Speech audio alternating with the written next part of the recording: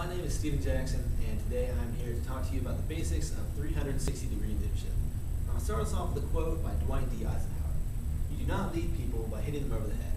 That's assault, not leadership. What you don't know is that there's a lot of facts about 360 degree leadership.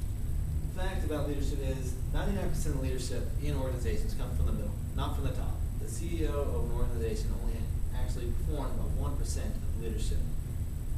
And no matter where you are, you're always leading someone. It doesn't matter if you're at the top, if you're at the bottom, or in the middle. There are always those to lead around you.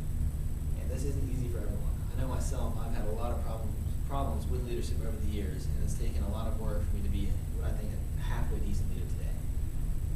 I'll start off by telling you about who you can lead.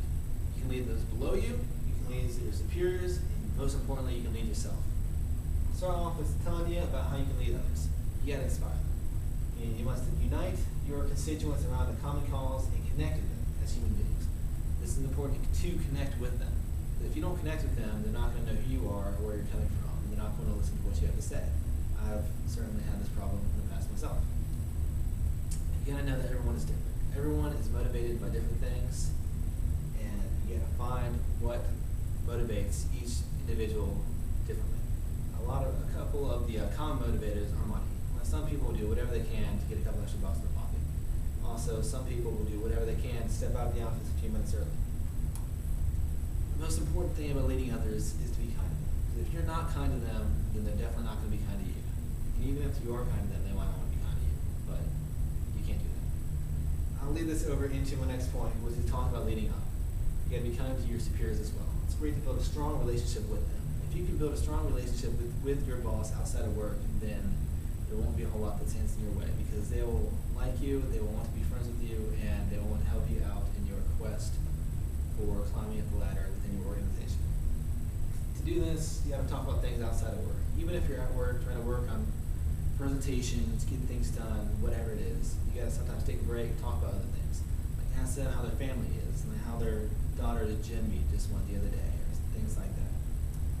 Also, you got to try and make their job easier because if they're if you're making their job easier, they're going they're going to want to work with you instead of somebody else who's making their job harder on them.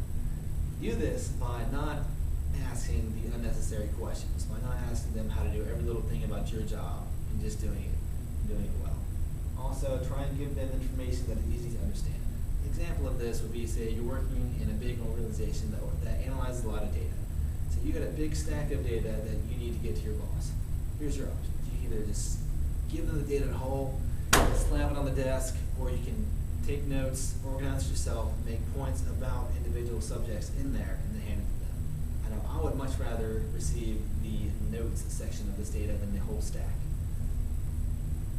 Also, you got to not focus on the negatives. If you only tell them bad news, and it looks like you're not doing a good job leading those that you are leading, and they will not want to promote you to a higher position in the organization. When you are giving good bad news, it's important to give good news too, because this makes it look better on you one way or another. Now, the most important part of leadership, leading yourself. This should constitute about 50% of your overall effort. The process of influencing influencing oneself to establish the self-direction and motivation needed to perform would be one of the many definitions of self-leadership. I'd like to look at this one. And, and part of this is you got to build a good reputation. If people see you in a good light, they're much more likely to be led by you. Do this, you got to lead by example. If your actions inspire others to dream more, learn more, do more, and become more, then you are a leader. You got to be quick to listen, slow to speak, and slower to get angry. Because if you're talking to someone and you go off on them without cause, they will not want to work with you and they will not listen to you at all. Also important stay motivated. If you can keep the fire burning inside you so hot and so bright that it catches the candles of all those around you, then there's nothing that can stop you. You gotta make challenging goals for yourself. If, you, if others see that you are trying to aspire to do more, then they want to do more. You gotta not stop learning. There's always a better way to accomplish whatever you want to accomplish or to do what you want to do. In conclusion, 360 degree style leadership, if used efficiently, can be a very effective tool in leading not only yourself, those below you and above you in an organization. Now, it looks like my time's about up, so uh, hopefully you left with a little bit more knowledge than you entered this room with. I'll leave you with one more quote. The key to successful leadership today is influence, not authority.